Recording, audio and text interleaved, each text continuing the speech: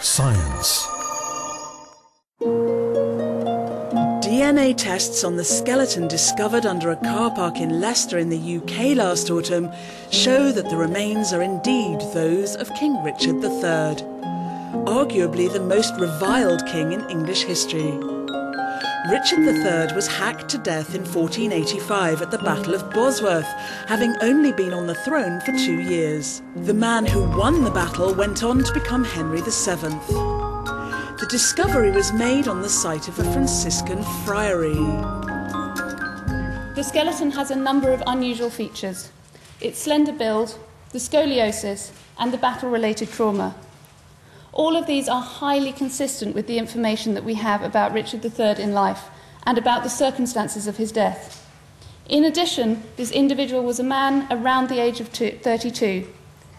Taken as a whole, the skeletal evidence provides a highly convincing case for identification as Richard III. We said that this might represent a slice cut off the skull by a bladed weapon.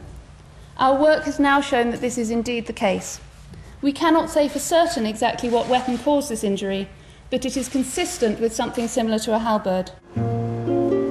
Researchers found that the skeleton showed signs of spinal abnormalities, believed to be severe scoliosis, a form of spinal curvature which would have made the right shoulder substantially higher than the left one, in tune with contemporary accounts.